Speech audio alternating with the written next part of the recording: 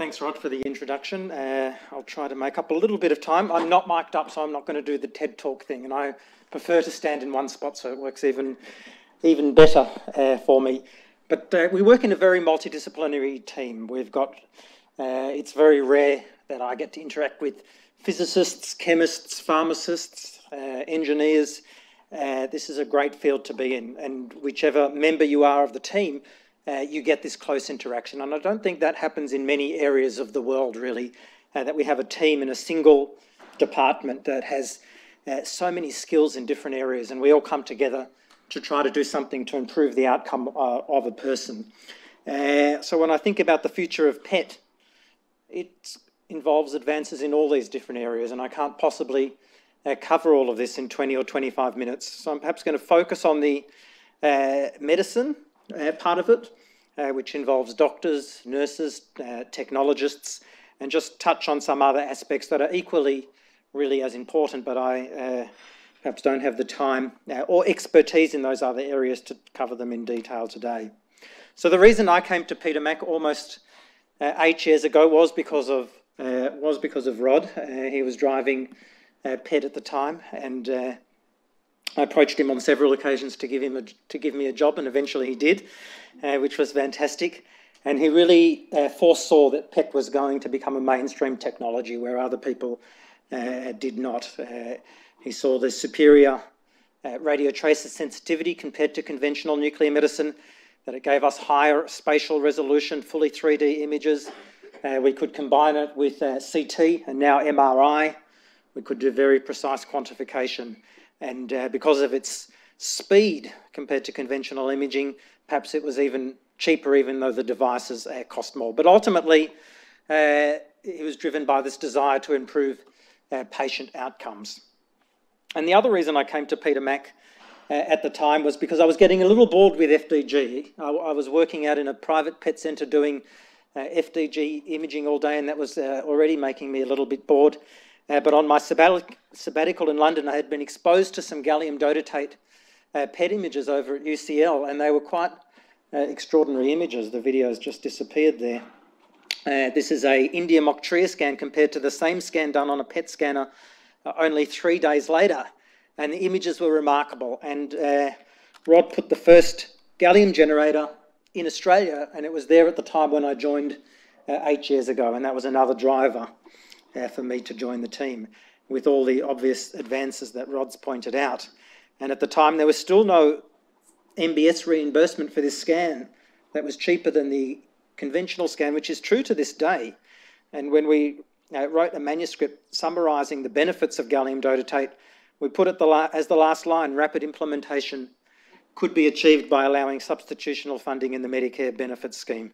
Uh, so I'm hopeful that that will uh, hopefully occur sooner rather than later because without having some of these technologies that we're going to talk about funded, it's difficult to uh, make them uh, mainstream.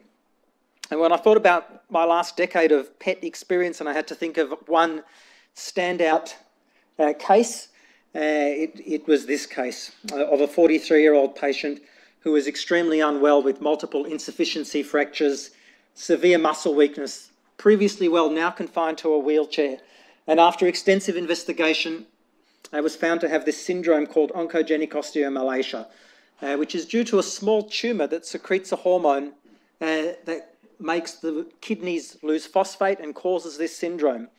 And this patient, over a three year period, had every diagnostic test known to man uh, to try to localise this tumour, including two FDG PETs. Uh, you can see the list. Everything was normal. Uh, the patient went overseas for another workup, no cause could be found. And then when we did a gallium dotatate PET scan, uh, it gave us the answer very quickly, uh, which was this abnormality uh, down here in the foot. And this N equals 1 case, when this was surgically excised, uh, the patient was cured. They were able to rise from their wheelchair as the muscle weakness went away and the bone pain went away. So, quite an extraordinary case of a diagnostic modality uh, which has clearly benefited this patient.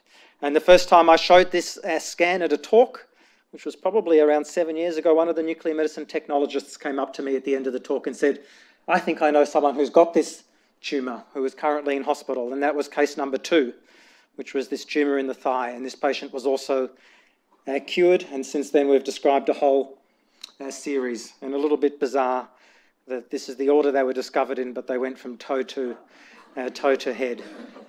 And this is a little bit like finding a, a needle in a haystack, and it shows the power of PET and how a new imaging modality at the time, the gallium dotatate or GATATE PET CT, could radically improve the lives of patients with this uh, rare condition. So Rod's had a vision that I shared that we could replace really all of general nuclear medicine from SPECT uh, and convert it over to PET CT uh, because of all the advantages uh, we've talked about. And we use a variety of uh, traces really in, uh, in everyday practice. I think on, on a record Friday a few months ago, 45% of the studies we did in the PET centre were non-FDG. Uh, and on that day, I think we had an FET, uh, a fluorocholine, uh, some GATATE scans and an I124 scan, and that made up sort of half the PET volume of that day. So we really use a variety of different traces on a daily basis here at Peter Mac, and that makes it a very rewarding uh, place to work. And over the next five minutes of this talk, I'll show you uh, some examples of, of what we've done. So the gallium dotatate volume has really increased from 2008 onwards, and I'm pleased to see that this is disseminated throughout Australia. I think there are uh, uh over uh, 25 sites around Australia uh, now with gallium generators that are doing uh, dotatate PET scanning. Uh, we, once we had the gallium generator, we wondered what else we could do with it. And being a radio metal, much like technetium-99m, we can label a lot of conventional nuclear medicine traces really very easily with gallium-68. So we commenced doing uh, gallium VQ imaging, gallium EDTA, and more recently PSMA for prostate cancer, uh, but also a range of other uh, traces. I think when Henry Wagner did the first VQ scan over 50 years ago, this is a study showing pulmonary emboli, large unmatched defects in the lung, people must have thought he was crazy, that every big hospital in the world would have a nuclear medicine camera where people would breathe in some gas to do ventilation images and then inject a substance to look at perfusion to the lung. This is quite a complicated process, and uh, that really did disseminate throughout the world. And uh, VQ scanning became a test that was available in almost every hospital around the world. And when we think about doing that test on a PET scanner, which is really a much smaller leap, doing this test uh, just with gallium instead of technetium, people seem to think that we're a bit uh, uh, nutty, a bit crazy. Why would you do a VQ scan uh, on the PET scanner rather than your conventional nuclear medicine scanner? But it's uh, somewhat obvious to us because the image quality is much better and we can do the test in a quarter of the time. So why wouldn't we uh, do a better test that's faster? And we did a series of 10 patients where we did a SPECT VQ and then we injected the uh, Galligas, or got the patient to inhale Galligas, injected gallium MAA to do the lung perfusion images, and the image quality was indeed significantly better on the PET VQ uh, images. The PET scanners are a lot more advanced. We can do respiratory gating very easily. That in this uh, patient, we've done a gated CT and also a gated PET that allows us to align each bin of the scan very accurately. The lungs are a moving structure, so if you don't have respiratory gating, you get a very blurred image. Uh, by uh, fusing gated images together, we get beautiful co-registration. This is a patient with an acute pneumonia. Uh, this is the perfusion images showing increased perfusion to that segment of pneumonia as the inflammatory cells are uh, being driven to that area. And look at the beautiful, precise co-registration we get with gated images. And the American Journal of Respiratory and Critical Care Medicine, the highest impact respiratory journal, uh, chose to put this image uh, on their front cover. Uh, this is a patient who had uh, breast cancer with long-standing pleural effusions that we can see on the scan. Uh, and as part of a prospective study where we're doing PET VQ scanning to diagnose pulmonary embolism, had a CTPA, which was looked at by our two best radiologists who said this is an absolutely normal uh, CTPA study, CT pulmonary angiogram. But the PET VQ study showed multiple unmatched defects. And let's look at this slice in a little bit more detail on the PET scanner where we can do a high-end CT as well, either 64 or 128 slice CT on many of the CT on PET CT scanners nowadays. So you can do a CTPA on the PET camera and fuse it very precisely uh, to the functional imaging. And here we can see this large unmatched perfusion defect. And when we go back and look at the CT, we can see a pulmonary artery uh, who is which is tapered because of the clot. And this was not visualized prospectively. But when we went back to our radiologists and said, hey, do you think this is a normal or abnormal CTPA, they all agreed that this was a, a abnormal finding, but they couldn't identify it prospectively. So when we do a PET VQ scan on the PET scanner as opposed to the SPECT camera, we get some really beautiful images. And we, when we start showing these images to our clinicians, they find a whole array of new clinical indications that they would like to perform. And unlike probably conventional VQ scanning, which is either static or dying off in many centres, when we can start producing beautiful pictures, uh, which uh, the clinicians believe, uh, they start ordering it uh, with their feet. We can do uh, renal scans on the PET scanner. Uh, this is a gallium EDTA in a patient with obstruction. These are actually the anterior MIP projections. So these are 3D images, but we're just looking at a 2D so that they look a little bit like conventional nuclear medicine images, but we can normalize them according to an SUV. Uh, so we can quantify very precisely. Uh, we can give frusemide, and here we can see that the left kidney uh, tracer accumulates. When given frusemide, it empties rapidly, whereas on the right kidney, it doesn't respond to frusemide, so it's obstructed. And we can see the level of obstruction uh, very clearly. We see the ureter uh, stopping here. And when we look at the CT underlying anatomic template, we can identify the precise point and the reason for this obstruction. Uh, and we can do this in three dimensions uh, very beautifully.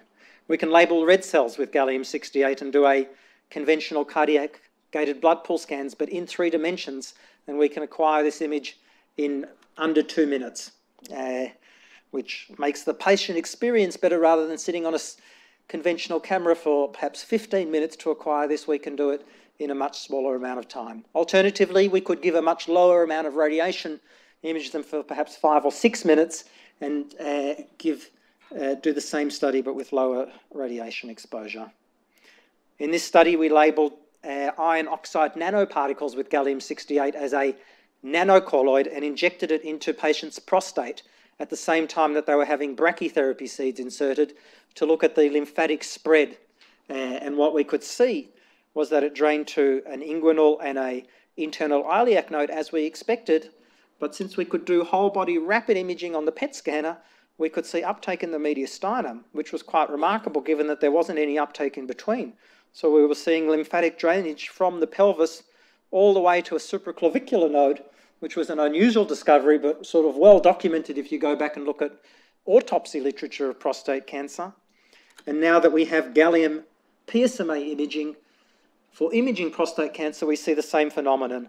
So this is a patient where we can see uptake in very small nodes. These nodes are barely visible on the CT, but have abnormal uptake on the gallium PSMA PET. But here we see a supraclavicular node, which was biopsied and shown to be prostate adenocarcinoma. Uh, we can label new traces with gallium. This is gallium exendin 4 for localizing an insulinoma recurrence in a patient where every other imaging modality, including gallium dotatate, uh, was unable to find the tumour in this patient.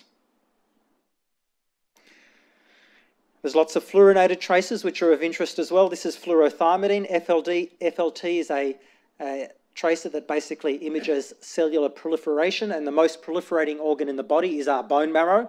So this is not metastatic tumour, but this is uh, just normal bone marrow, and the patient had radiotherapy uh, to some lymph nodes in the neck three weeks prior, and you can see that there's no bone marrow in that area because the radiotherapy's wiped it out. And when we look at it in sagittal, we can see that quite nicely. When we overlap the radiotherapy treatment field from three weeks prior, we can see how good the FLT is. Uh, within the two to five gray isodose contour of this plan, the marrow has decreased, which is exactly what we expect. But the uh, co-registration of the function to the anatomy is really beautifully uh, demonstrated. And this same patient, the radiation oncologist, then wanted to give radiotherapy to the pelvis to treat this patient, and he was concerned that doing that would be too dangerous to the patient, that they would lose too much normal bone marrow in that process. So we were able to overlay the normal uh, or the anticipated uh, plan, do a simple calculation and tell the radiation oncologist that if you proceed with this, we will ablate 22% of this patient's bone marrow. And uh, the radiation oncologist was then able to decide what to do. So if we think about where we're going with PET, I think we have to pause for a minute and think about where we're going with, uh, with medicine, because medicine is uh, rapidly changing. And I do like this tweet by Eric Topol, uh, who kind of says old medicine is population based, new medicine is individualized.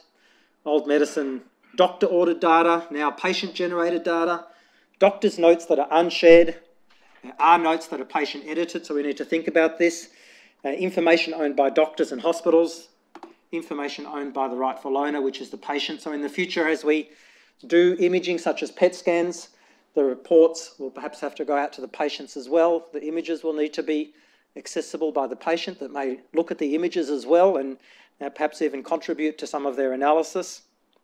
Uh, I've added one on the bottom uh, to, to this tweet, which was doctor interpretation to computer assisted or artificial intelligence. Uh, because I think computers can do what we humans do in some areas much better.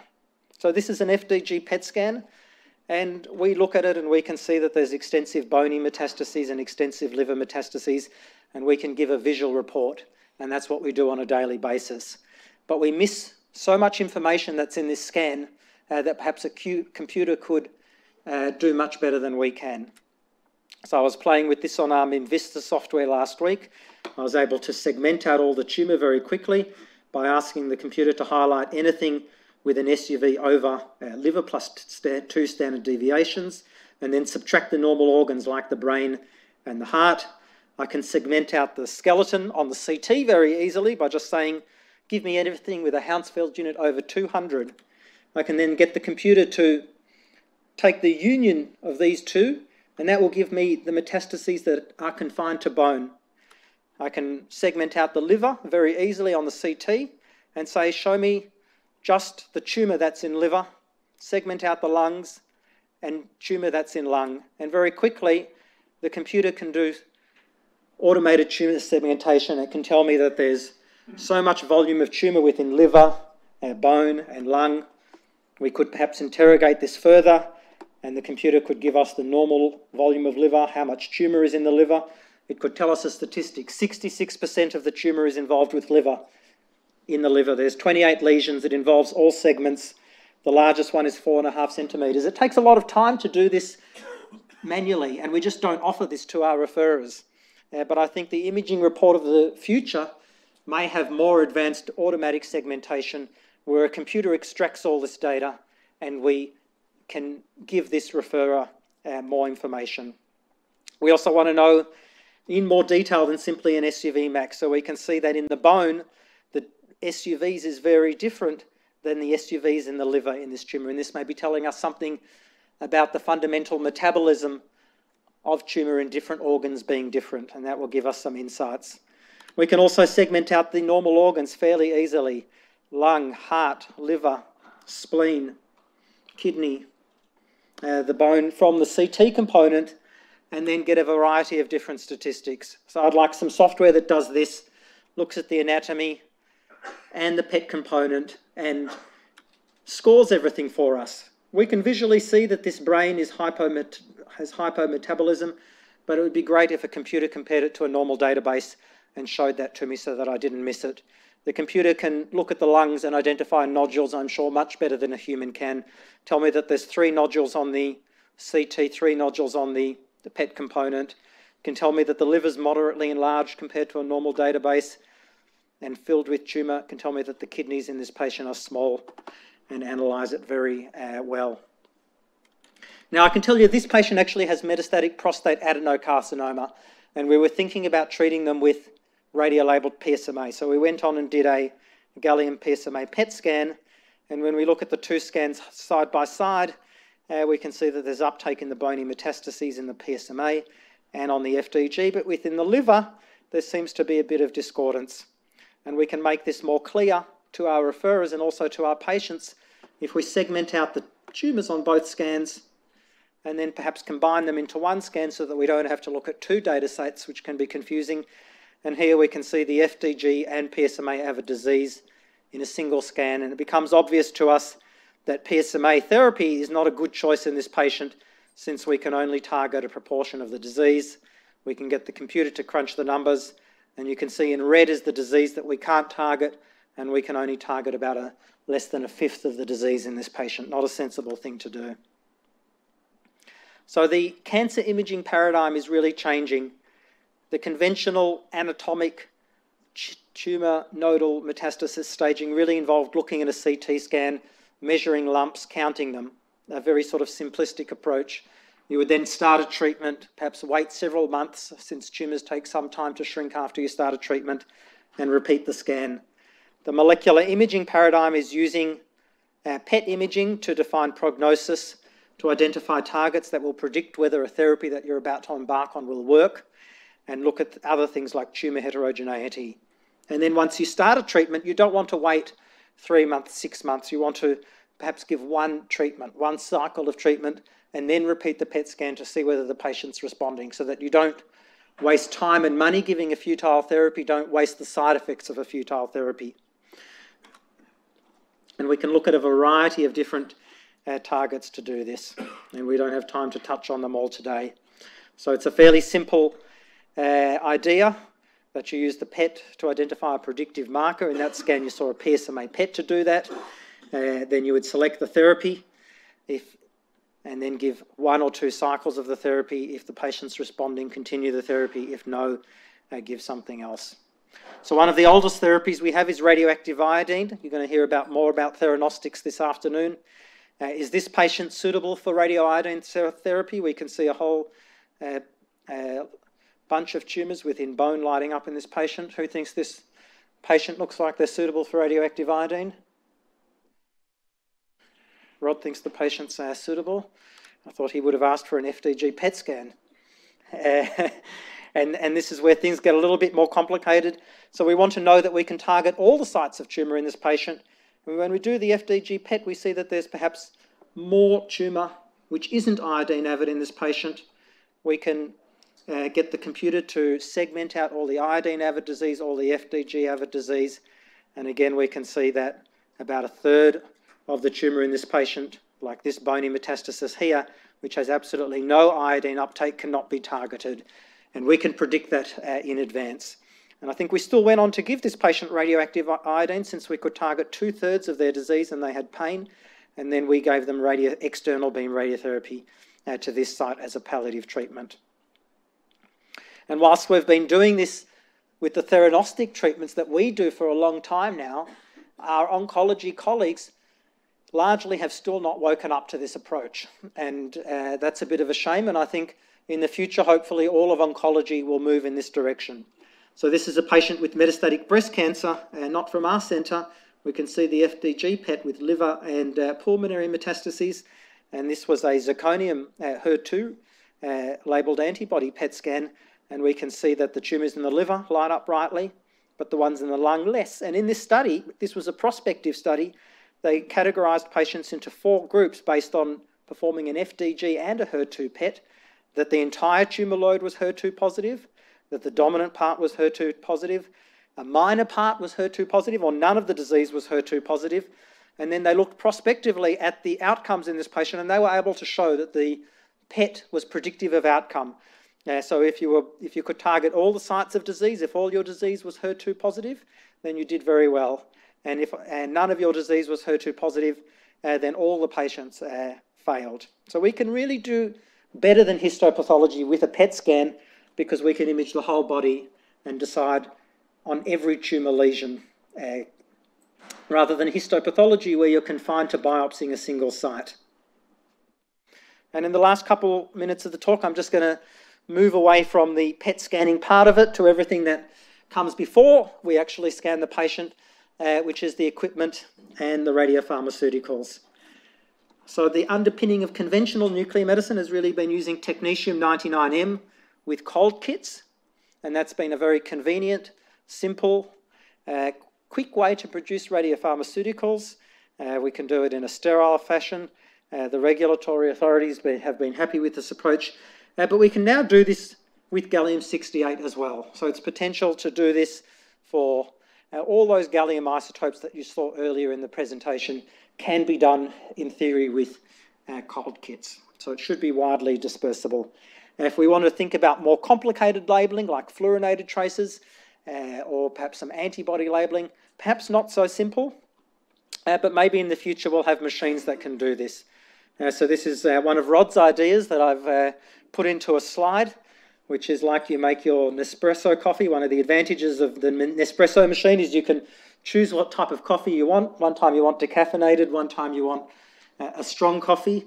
Uh, perhaps we can have a variety of different capsules for different traces, and you would just uh, pop it into a machine, press a button, and out would come a tracer that you then inject into a, a patient.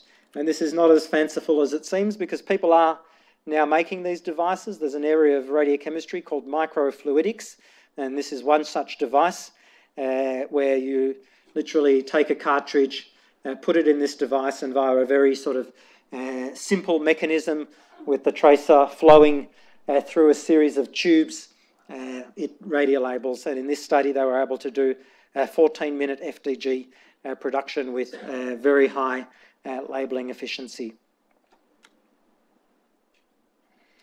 The best way to predict the future is to create it. I think this is something that uh, Rod has done extremely uh, well in his career. He thinks of a great idea, then he does it, and it uh, uh sometimes becomes the standard of care a decade later.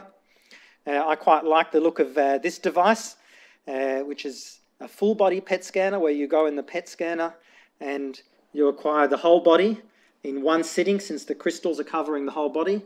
Uh, this would give you 40 times the sensitivity. Uh, you could either do a whole body PET scan in 30 seconds or one minute, or you could lower the radiation dose and put them in the scanner for four or five minutes. You could look at whole body three dimensional organ kinetics. Uh, if you thought about pediatric indications, you could put a child in the scanner and probably get away without needing any anesthesia. And there's a whole variety of uh, uh potential indications. And I think if I think towards the future, uh, maybe in five or 10 years, we'll have uh, one of these devices in our centre and PET scanning will become an extremely uh, fast uh, way to do true uh, whole body imaging. So this is my uh, last slide, which is the, the best radio tracer to date. There is a standout tracer that has the highest tumour to background contrast in oncology. Can someone nominate the, the best tracer to date?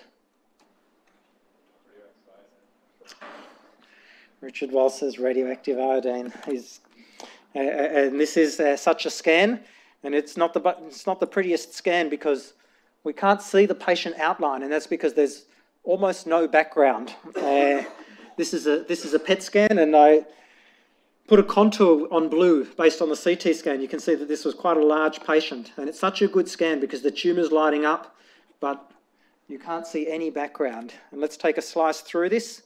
There are some uh, mediastinal nodes lighting up extremely brightly on this PET scan. And when we look at the CT scan, there's almost no abnormality. I'll show you the arrow. It's probably about a one millimetre uh, mediastinal node. But when you look at the PET scan, the uptake is extraordinary. In fact, the SUV max of this is 430. And Richard Wall's correct, this, uh, this is radioactive iodine, but with I124. Uh, so this is not a new tracer. Uh, this tracer was de really developed in the 1930s and 40s. Uh, so we need more tracers like radioactive iodine that have a very high uptake uh, with low background. now we can do this with a positron emitting isotope rather than SPECT and get even uh, faster acquisitions and prettier pictures. But a lot of what we are uh, creating now in the future are really uh, just recycling good ideas from the past. So thank you very much. And